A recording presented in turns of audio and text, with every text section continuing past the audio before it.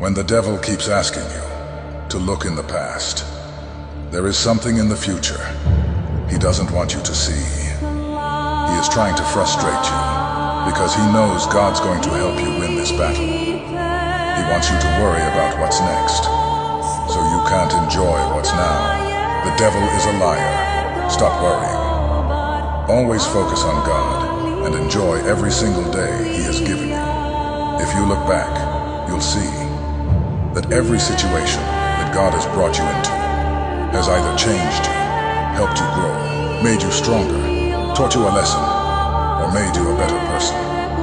Everything he does has a purpose. God's plan is always the best. Sometimes the process is painful and hard. But don't forget, when God is silent, he's doing something for you. Trust in God's plan and stay unfazed.